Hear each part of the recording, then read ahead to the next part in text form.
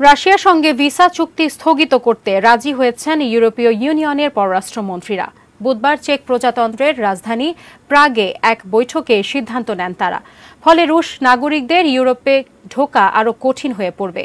দুই দিন ব্যাপী ওই বৈঠক শেষে ইইউর পররাষ্ট্রনীতি প্রধান জোসেফ বোরেল বলেন, ইউরোপীয় ইউনিয়ন, রাশিয়া ভিসা চুক্তির সম্পূর্ণ স্থগিতাদেশে সম্মত হয়েছে। ফলে ইউরোপীয় ইউনিয়নের সদস্য দেশগুলোর মাধ্যমে ইস্যু করা নতুন ভিসার সংখ্যা উল্লেখযোগ্যভাবে কমাবে। যদিও বৈঠকে মতবিরোধের কারণে রাশিয়ার উপর পুরোপুরি ভিসা নিষেধাজ্ঞার আরোপ করতে পারেনি ইইউ। ইউক্রেন এবং কয়েকটি সদস্য দেশ রাশিয়ার উপর ভিসা নিষেধাজ্ঞার দাবি জানালেও ফ্রান্স, জার্মানির মতো কিছু দেশের আপত্তিতে তা সম্ভব হয়নি। বোরেল বলেন, জুলাই মাসের মাঝামাঝি থেকে রাশিয়া থেকে সীমান্ত পেরিয়ে প্রতিবেশী দেশগুলোতে প্রবেশ যথেষ্ট বৃদ্ধি পেয়েছে।